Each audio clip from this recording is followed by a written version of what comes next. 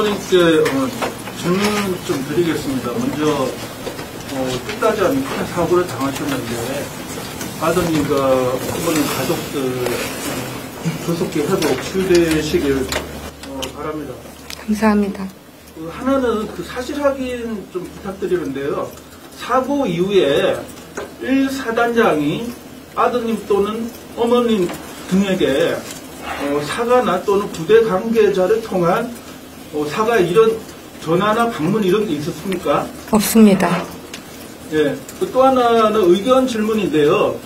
어, 1사단장의 가장 큰 어, 잘못은 무엇이라고 보시는지 그리고 또 하나는 어, 고발 조치를 어, 하고 어, 추후에 어, 사법적 책임을 어, 질 거라고 생각하지만 그 외에 1사장이 어떤 도의적 책임을 어, 져야 하는지 좀 말씀 부탁드립니다.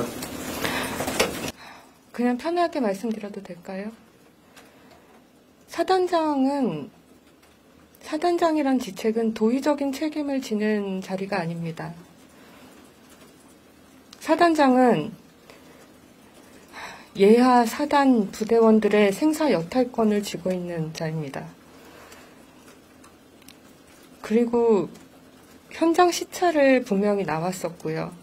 그러면 수색에 대한 협조 요청을 받았을 때 전체적인 또 이런 복구가 아닌 그냥 복구 대, 대면 지원이 아닌 복구 작전이라고 표현할 정도의 얘기를 할 정도라면 전체적인 강물의 유속과 강 바닥과 모든 상황들을 알고 있어야 하는 자리입니다.